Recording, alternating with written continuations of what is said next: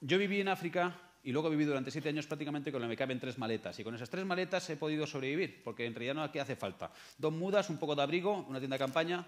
Cuando tuve claro esas tres cosas, quién era yo, quién eran los demás y lo poco que, se hace, que hace falta para tener una vida digna, entonces decidí que, que, yo quería seguir viviendo estas experiencias que había tenido en África. Y entonces me fui a Asia Central, recorrí Oriente Medio, sufrí una conversión religiosa en Uzbekistán, recuperé la fe, escribí cinco libros.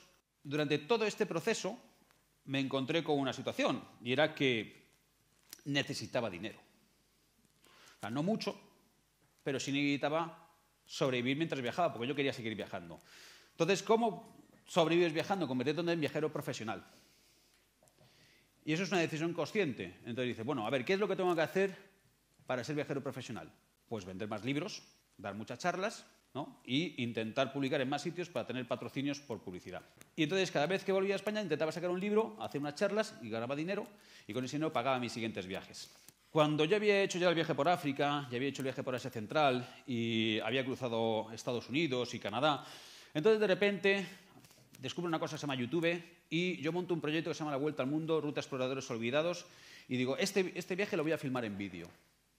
Y entonces empecé a hacer vídeos, me filmaba yo a mí mismo, en los cuales, pues claro, según iba viajando, uno pierde la cabeza y va, haciendo cada vez más tonterías, más tonterías, porque bueno, es lo que le pide el cuerpo, porque está completamente enloquecido. Cuando llevas 12 meses de viaje y te encuentras en Indonesia, alrededor de gente que no te, que no te entiende y lo único que, comprenden es very good, very good, y se descojonan, pues entonces tú te conviertes en una persona que dice very good simplemente para conseguir comida, para pasar una frontera.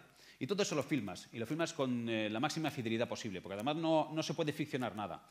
Entonces yo empiezo a subir esos vídeos a YouTube y ahí se van quedando. Y tampoco sé muy bien qué es lo que va pasando, como tampoco sabía muy bien qué pasaba con el, con el libro de un millón de piedras. Cuando yo regreso de esa vuelta al mundo, que me tiré prácticamente 18 meses, escribo el libro de La fuga del náufrago, que es el libro de la Armada Invencible, y ya no tenía un duro, y entonces empiezo a ir por las librerías de Madrid buscando que me dejen colocar mi cajita de libros, ¿no? Para a ver si alguien me los compraba y demás. Entonces, cuando entro a una librería que hoy está cerrada, que es Altair, allí eh, voy con mi caja y, me dice el tío, oye, ¿puedes dejar aquí estos libros? Y dice, me dice, ¿tú eres Miquel Silvestre? Y digo, sí, soy yo. dice, hombre, pues tu libro Un millón de piedras se ha convertido en un pequeño clásico. Y digo, coño, no sabía nada porque a mí nadie me pagado un duro, ¿no? Además, podemos hacer algo. No sé, ¿tú qué sabes hacer? Y digo, mira, pues yo ahora hago vídeos. Dice, bueno, pues podemos hacer un taller de edición de vídeos, una actividad en la librería, así viene más gente, a ver si te compra algún libro y tal. Digo, vale, pues venga, vamos a hacer este taller de edición de vídeos. Eh, ellos escriben una nota de prensa a distintos medios. Y uno de estos medios es La aventura del saber, un programa de la 2 de televisión española. Entonces me llaman allí para hacerme una entrevista. Entonces yo me presento ante Salvador Valdés, que es el director, y empieza, bueno, tú has venido aquí a hablar de vídeos de viajes, sí. ¿Y a qué te dedicabas? No, yo era registrador de la propiedad. Ah, sí, coño, qué curioso, ¿no? ¿Y qué es lo que haces? ¿Tus viajes de qué van? No, voy siguiendo exploradores españoles olvidados, ahora me voy a ir a Uzbekistán, a Samarcanda, siguiendo a Ruy González de Clavijo, un tipo que se fue en 1403. Eh, hombre, pues no sé, suena interesante, ¿no? Si, te vas de viaje me mandarás más vídeos. Y digo, hombre, sí, yo te mando más vídeos. Y los mismos vídeos que yo iba subiendo a YouTube se los fui mandando él. Y ellos los fueron emitiendo. Después de irme a Uzbekistán, a la ruta de la seda, y siguiendo a este embajador madrileño, me fui al Sáhara en una moto clásica, en la Red 50, y allí fui siguiendo también la huella de los exploradores españoles desde Milo Bonelli, ya en el siglo XIX, eh, fundando Villa Cisneros, por ejemplo. Entonces, todo eso se iba emitiendo. Y cuando regreso a España, cada vez que, regreso un viaje, voy a la aventura del saber que me haga una entrevista y hablar de cómo ha sido el viaje. Y en un momento dado, allí me encuentro con un productor de culturales, que, Francisco Javier González, que me dice, oye, he visto tus vídeos, me hace mucha gracia, eres un personaje. ¿eh? ¿Tú podrías hacer una serie completa? Digo, sí, claro, yo podría hacer una serie completa, ¿cómo no? No tenía ni, idea de cómo se hacía una serie de televisión. Pero eh, mantengo esa norma, no sé si fue Roosevelt que la dijo, que cuando te ofrecen un trabajo que te interesa, tú di que sí y luego aprendes a hacerlo. Yo no conocía a nadie en una productora, no había hecho nunca televisión profesional y tal. Entonces, cuando empezó lo que fue eh, la letra pequeña de aquello lo que suponía, entonces ya me di cuenta de dónde me estaba metiendo. Tenía que viajar con un cámara, tenía que viajar con un conductor, tenía que ir guionizado, tenía que estar bien producido. No podían ser los vídeos que yo hacía para mi canal de YouTube, ya tenía que ser una cosa seria de, televisión. Y digo, bueno, ¿y esto? dice, no, esto, eh, ¿dónde está el dinero? No, no, este dinero te lo tienes que buscar tú. O sea, nosotros te lo vamos a emitir gratis. Digo, coño, qué chollo. No, no, pero es la publicidad y el me marchamos de salir en televisión española. Y digo, ah, pues no está mal, no está mal. Entonces, ¿podré hacer publicidad? No, no puedes hacer publicidad porque Televisión Española tiene radicalmente prohibida toda publicidad, por ley. Entonces, a partir de ese momento, es cuando yo empiezo a, por una parte, montar el proyecto de la serie Diario de un Nómada y empiezo a buscar el dinero. Y empiezo a buscar también una productora, porque a mí me exigían que tenía que ir con una productora que eh, firmase el contrato y esa productora no podía ser una productora que yo montase, tenía que ser una productora de la cual ellos conociesen, que tuviese una serie de requisitos técnicos que ellos controlasen. ¿no? Entonces, bueno, yo me dirigí a una productora que ya había trabajado con ellos para algunos reportajes en televisión entonces les dije, mira, esto es lo que quiero hacer. Quiero cruzar 10 países, quiero hacer unos 20.000 kilómetros, quiero ir casi todo por, terreno sin asfaltar ¿eh? y, bueno, eh, no sé, esto va a quedar muy chulo. Dice, sí, no, esto tiene una buena pinta. ¿eh? Dice, ¿tú sabes lo que va a costar esto? Y digo, no, no sé, a ver, dime. Entonces hacen cuentas, estos son 360.000 euros. Por debajo de 360.000 euros este proyecto es inasumible. El riesgo no se puede asumir, porque te puedes romper una pierna, te puedes romper la moto, en fin, y si tú te rompes una pierna o te matas, ¿dónde está o sea, lo perdemos todo. digo, bueno, vamos a hacer cuentas, ¿cuánto tenemos aquí? Y entonces yo, que había estado dando, en fin, insistiendo a un montón de gente para que me dieran el dinero para patrocinios, diciendo, yo va a salir en la tele, tío, vamos a, eh, esto va a ir muy bien. Pues entonces, lo máximo que conseguí, involucrando a un montón de gente, fue unos 110.000 euros. Esos 110.000 euros no los tenía yo en mi bolsillo. Parte se me entregaría cuando el proyecto estuviera en marcha, Además, ya sabéis cómo funciona España. Se paga 60 días. Yo en 60 días, a partir de que comenzara el proyecto, ya tendría que estar casi en Colombia. ¿Cómo pagaba yo todo eso? Parte se me entregaría cuando volviese del viaje, porque claro, si, si no volvía del viaje, no podía garantizarse que aquella inversión pudiera tener frutos. Parte se me entregaría cuando yo entregara los capítulos montados. Es decir, el editor, el que pone el sonido, en fin, el cámara, toda esa gente cuánto cobra. ¿Cuándo cobro yo? Yo desde luego no iba a cobrar, ¿no? Entonces, yo les dije, pues mira, esto es lo que tenemos. Me dijeron, pues no se puede hacer. No se puede hacer. Es un bonito sueño, no se puede hacer la serie de televisión. Y ya toma por saco. Y yo, pues pasé un mal rato, la verdad. Pasé unos días muy malos porque había trabajado mucho en este proyecto, me había ilusionado muchísimo y sobre todo había despegado una energía brutal en esos meses de trabajo. Había escrito todo, había diseñado la ruta, había escrito el guion de los personajes a los cuales iba a buscar. Y un día me fui a correr, yo voy a correr por las mañanas, entonces me fui a correr por la ciudad universitaria. Y allí en la ciudad universitaria, en la Complutense, eh, al llegar a la Facultad de Filosofía y Letras, me encontré con un busto muy grande de Camilo José Cela. Camilo José Cela tenía frases lapidarias, algunas son barbaridades, pero otras tienen mucho sentido. Y había una de ellas que yo siempre me prometí cumplir y que estuve a punto de defraudar, y es el que resiste gana.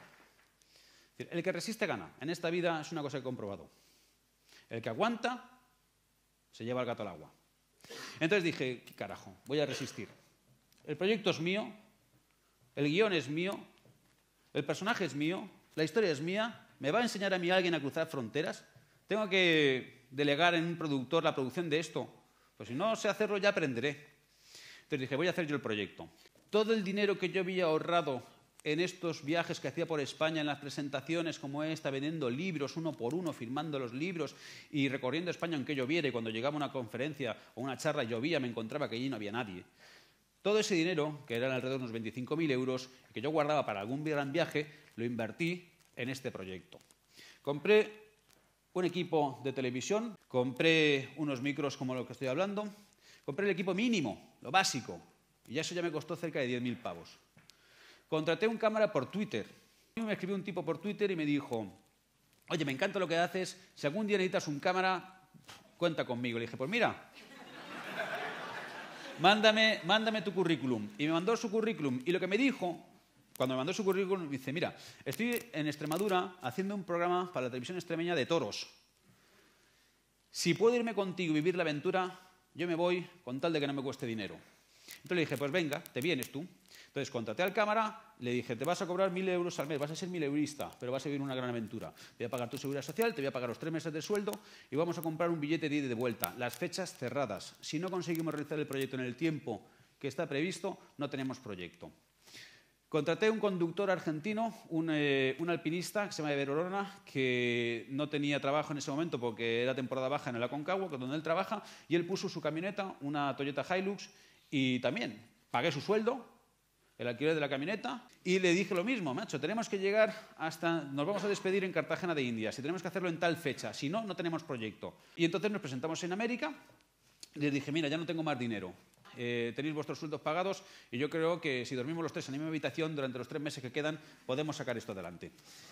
Y así fue, tres hombres adultos durmiendo eh, pues 100 noches en la misma habitación mugrienta de... rotaba la habitación, ¿no? pero era siempre mugrienta, la más barata posible, y comiendo dos veces al día y trabajando sin descanso. Y así nos cruzamos Sudamérica en 100 días. Eh, tuvimos nuestros más y nuestros menos, a veces estuvimos a punto de llegar a las manos. Imaginaros cómo, es la situación de, pues eso, tres tipos que no se conocen de nada, que están completamente solos, perdidos en un océano mm, de tierra inmensa como es Sudamérica y dirigidos por un inepto como yo. Porque yo no sabía de producción, no sabía de dirección, no sabía muy bien lo que estaba haciendo y no sabía ni siquiera dónde me dirigía y no tenía clara ni siquiera la ruta del día. Sin embargo, tenía una fe, tenía incrementable en que lo que estaba haciendo valía la pena. Y supongo que eso se lo contagié y que confiaron en mí. Y al final lo hicimos. Y la moto se accidentó. En la camioneta se le estropeó la batería. Eh, pero tuvimos muchísima suerte, ninguno enfermó. Bueno, Antonio pilló una cagalera, pero nada, nada del otro mundo. Yo no pillé ni una sola gripe, me accidentó dos veces y no me pasó nada. Cruzamos toda Sudamérica, casi todo por pistas sin asfaltar y no pinchamos ni una sola vez. Cumplimos el plan previsto, y volvimos a España con tres discos duros llenos de material, más de 9.000 gigas. Y entonces me encontré con la situación de convertir eso en una serie de televisión. Y ahí empezó otra película porque no, no tenía montadores. Eh, tuve que bueno, pues buscar quién montase la serie y al final, ¿qué es lo que sucedió? Pues que contraté uno que era bueno, que era único disponible y a los dos capítulos se marchó porque encontró un trabajo mejor. Había otros que eran más malos y que lo que me que casi me destruyen la serie, porque cuando llevé eso a Televisión Española, el montaje que hicieron, mm, bueno, casi me echan del despacho, ¿no? Entonces, ¿qué es lo que hice? Lo monté yo. O sea, yo no tenía tampoco ni idea de montaje, pero al final yo tenía mi historia, yo sabía cómo la quería contar. Entonces, conté con ayuda de unos cuantos montadores, pero los capítulos que más me gustan los monté yo. Porque también llegué a un descubrimiento esencial. Nadie va a creer en un proyecto como tú. O sea, en tu proyecto vas a creer tú. Y aquello que quieres que se haga bien, hazlo tú. Aquellas cosas que tú puedas hacer por ti mismo, tienes que hacerlas tú. Porque nadie las irá igual, no van a tener el mismo interés. Cuando a mí me preguntan, ¿cómo se consigue lo que tú has conseguido? Coño, con trabajando, joder, se consigue trabajando. Teniendo fe en uno mismo y trabajando más que nadie. Entonces, yo terminé la serie, se la entregué a Televisión Española, y la serie se emitió, y en Televisión Española pues prácticamente no daban un duro por ella. Y bueno, se empezó a emitir, y coño, la gente lo fue viendo, y ha hecho buenos datos de audiencia. Desde luego, para lo que ha costado, está funcionando de la leche porque creo que es el programa más barato de la televisión. Yo entregué la serie y inmediatamente me puse a terminar el libro de la serie, porque sabía que tardaría en emitirse. Y dije, yo esto tengo que contarlo. O sea, todo lo que os estoy contando ahora es lo que cuento en el libro Diario un Nómada. No cuento el viaje, por supuesto cuento el viaje. No cuento eh, la historia de la conquista o de la exploración española, por supuesto que la cuento. Lo que cuento es cómo estaban esos tres tipos perdidos en América intentando sacar un proyecto que nadie creía en él. Porque todo el mundo me había dicho que era imposible hacerlo. Y que yo, desde luego, como no tenía experiencia ni conocimientos, no me saldría. Supongo que ahora estarán imputándole todo a la suerte, ¿no? qué buena suerte ha tenido el tío, ¿no? O sea, ya sabes que lo que le sale bien a los demás siempre es cuestión de buena suerte, ¿no?